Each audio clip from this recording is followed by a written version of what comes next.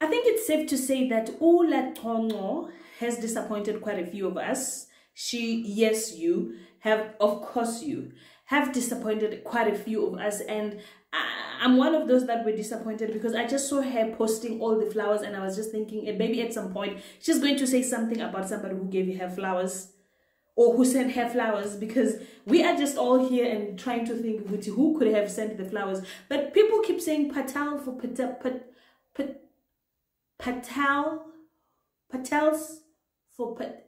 Guys, this this comment about Patel, Patel, Patel, Patel, Patels. Hey, what does it mean?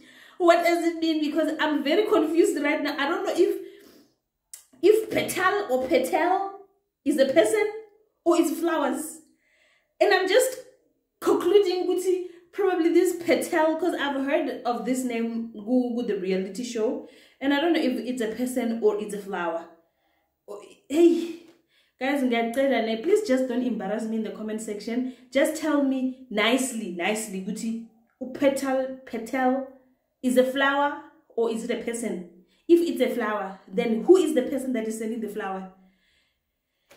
Oh, Obviously, most of the people, they're also thrilled and they are so interested in looking at the fact that oh, Ugele une figure and the figure is popping. Huh?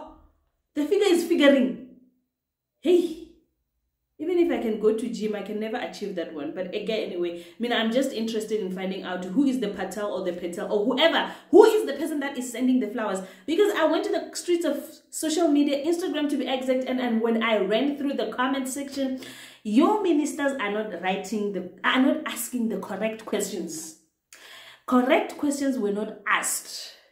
Obviously, there will never be answers because somebody could have asked you who is sending you flowers? Or who is receiving flowers from you. Bye bye.